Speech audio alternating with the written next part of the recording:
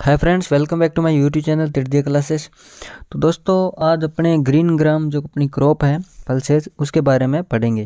Green gram को अपने मूंग भी कह देते हैं। तो जो ग्रीन ग्राम क्रॉप है, इसके बारे में अपने कंप्लीट स्टडी करेंगे। वैसे तो इसमें क्या है कि दो तीन मेन क्वेश्चन होते हैं जो बार बार आते हैं, लेकिन अपने इसको अपने अच्छे से डिटेल से पढ़ेंगे। ठीक है दोस्तों वीडियो को स्टार्ट करते हैं। तो सबसे पहले अपने देखते हैं कि ग्रीन ग्राम का जो बोटेनिकल नेम है, जिसको अपने वानस्पतिक नाम कहते हैं, ठीक है? तो इसका जो बोटेनिकल नेम है, वो है विग्ना रेडिएटा क्या है विग्ना रेडिएटा ठीक है? फिर नेक्स्ट आता है अपना क्वेश्चन कि फैमिली जो है, ग्रीन ग्राम की जो फैमिली है, जिसको अपने हिंदी में कुल कहते हैं, ठीक है? तो ग्रीन ग्राम की जो फैमिली वो है लेग्यूमिनेसी, ठीक है? लेग्यूमिनेसी या इसको अपने फबेसी भी कह सकते हैं, ठीक है? फिर नेक्स्ट है क्रोमोसोम नंबर तो क्रोमोसोम नंबर इसमें टू एन बराबर फोर्टी टू कितना है? टू एन बराबर फोर्टी टू ठीक है? अपने ग्रीन ग्राम को और कौन कौन से नाम से जानते हैं? एक तो अपने ग्रीन ग्राम को मूंग कह देते हैं इसके अलावा जो इम्पोर्टेंट है आपके लिए वो है गोल्डन ग्राम कई बार एग्ज़ाम में पूछ लिया जाता है कि ग्रीन ग्राम को और कौन से नाम से जानते हैं, ठीक है? तो गोल्डन ग्राम अपने ग्रीन ग्राम को कहते हैं, ठीक है? फिर नेक्स्ट अपना क्वेश्चन होता है कि जो ग्रीन ग्राम है, इसका उत्पत्ति स्थल, यानी कि इसका ओरिजिन तो आपका आंसर होगा इंडिया ठीक है? फिर नेक्स्ट क्वेश्चन है कि प्रोटीन यानी कि ग्रीन ग्राम में कितने परसेंट प्रोटीन होती है? तो ट्वेंटी फोर परसेंट इसमें प्रोटीन होती है, ठीक है दोस्तों? फिर नेक्स्ट है कि फेट फेट की बात करें तो वन पॉइंट थ्री परसेंट इसमें फेट होती है। अगर अपन कार्बोहाइड्रेट की बात करें तो फिफ्टी नाइन परसेंट और ग्रीन ग्राम एक सेल्फ पोलिनेटेड क्रॉप है, ठीक है? तो दोस्तों, इसमें जो ये जो फैट है कार्बोहाइड्रेट है, इसमें ये तो इसमें तो बहुत कम क्वेश्चन पुटअप होते हैं, ठीक है?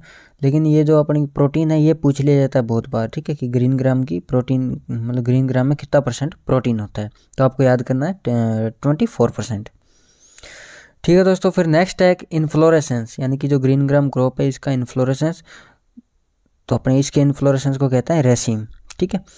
फिर नेक्स्ट है कि जर्मिनेशन टाइप यानी ग्रीन ग्राम जो क्रॉप है इसका जो जर्मिनेशन का जो टाइप है तो दो टाइप के होते हैं, आपको पता है कि एपीजीएल एक हाइपोजीएल होता है तो ग्रीन ग्राम का कैसा है? एपीजीएल, ठीक है?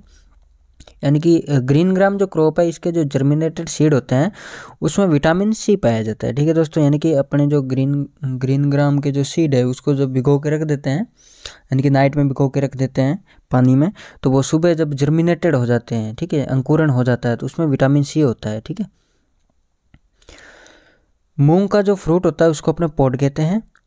और सॉइल की बात करें तो मूंग की क्रॉप को जो सॉइल चाहिए, वो लोमी टू सैंडी लोम, ठीक है?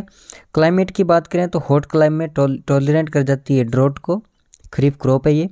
शोविंग डेप्थ की बात करें तो फोर टू सिक्स सेंटीमीटर इसके लिए शोविंग डेप्थ की आवश्यकता होती है, ठीक है दोस्तों? फिर नेक्स्ट है शोविंग टाइम। शोविंग टाइम, आपको पता है, खरीफ क्रॉप है तो इसलिए अपने जून जुलाई के अंदर इसकी शोविंग कर देते हैं। फिर नेक्स्ट बढ़ते हैं सीड रेट सीड रेट की बात करें तो इसमें रबी के लिए अलग होती है, खरीफ के लिए अलग होती है. तो खरीफ के लिए इसमें जो सीड रेट होती है, वो होती है बारह से पंद्रह के जी पर हेक्टर रबी क्रॉप के लिए इसमें जो सीड रेट होती है, वो होती है बीस के जी पर हेक्टर ठीक है? फिर नेक्स्ट है स्पेसिंग जिसको अपने रोपण दूरी कह देते हैं। तो इसमें भी खरीफ के लिए अलग होती है, रबी के लिए अलग होती है। तो खरीफ के लिए जो स्पेसिंग होती है, वो कितनी होती है? पैंतालीस इंटू दस सेंटीमीटर ठीक है दोस्तों? फिर नेक्स्ट है रबी के लिए। तो रबी के लिए तीस इंटू दस सेंटीमीटर इसकी जो स्पेसिंग होती है ग्रीन ग्राम क्रॉप की। ठीक है? फिर नेक्स्ट अपने बात करते हैं इसमें उपज की, यानी कि इसकी जो ईल्ड होती है, वो कितनी होती है? तो इसकी लगभग 12 से 15 क्विंटल पर हेक्टेयर इसमें, इसकी उपज होती है ग्रीन ग्राम क्रॉप की। ठीक है दोस्तों? फिर अपने नेक्स्ट बात करते हैं जो ग्रीन ग्राम के अंदर कौन कौन सी वेराइटीज़ होती है, यानी कौन कौन सी कल्टीवार जिसको कह सकते हैं, अपने किस्में कह सकते हैं। जिसकी कुछ इंपॉर्टेंट वेराइटीज़ है, जो मैंने लिखी है यहाँ पे। तो इसमें फ़र्स्ट है वर्षा, जो पिचपन से साठ दिन के अंदर तैयार हो जाती है पक्के, ठीक है? उसके बाद में पूसा विशाल, जो पैंसठ से सत्तर दिन के अंदर तैयार हो जाती है। उसके बाद मोती है, जिसको दूसरा नाम है, जिसका पीडीएम पीडीएम फिफ्टी फोर ठीक है दोस्तों? उसके बाद में इसमें और भी है, जैसे गणगोत्री है जमुनोत्री है, ठीक है? और ये इसकी मोस्ट इंपॉर्टेंट जो वैरायटीज है आर एम जी तीन सौ चौवालीस और आर एम जी चार सौ बानवे, ठीक है? इसका आपको ध्यान रखना है।